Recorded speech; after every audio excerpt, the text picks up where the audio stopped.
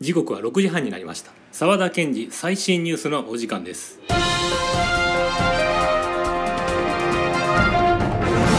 レモジュリニュース1830ジュリーのね伝説的なバックバンドジャズマスター名ドラマーとして活躍された村上ポンタ周一さん。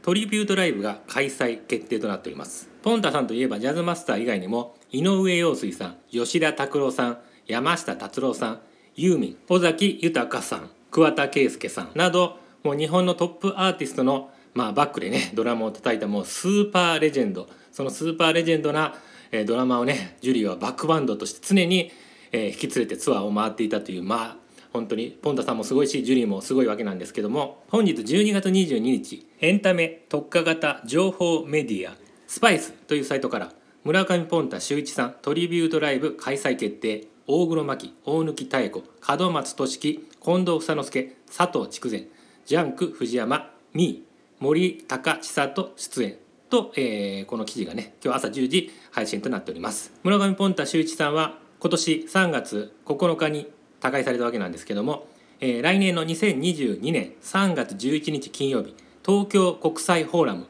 ホール A でこちらのトリビュートライブ、えー、開催ということでこの出演アーティストに関しては今はまだ第1弾ということですからまあ、まだまだね、えー、いろんなアーティストが参加するということで、えー、どういうアーティストが参加されるか、えー、楽しみですよね。70年代の「勝手に仕上がれ」の頃のジュリー80年代の TOKIO の頃のジュリーで、え、90年代以降はあまり知らないという、まあ、ジュリーのファンの方もいらっしゃると思うんですけども、まあ、ぜひねこの90年代以降の、え、ジュリーのライブ本当にかっこいいんですよね。特にこのジャズマスターを引き連れていたジュリーの、えー、ライブ。本当にねあのスキルも高いですしまあもう本当にパフォーマンス全てが、えー、最高峰と言われるようなライブが本当に多いのでこの村上ポンタ秀一さん爆発的なドラミングでね、えー、こう引っ張る勝手に仕上がれ TOKIO、まあ、こういうナンバーもねあのまああの昔のねアレンジと違ってえ、非常にかっこいい仕上がりとなっておりますのでぜひね90年頃のジュリーのライブテイクもねご覧になってください。そしてねポンタさんのトリビュートライブこちらもねご興味ある方ぜひ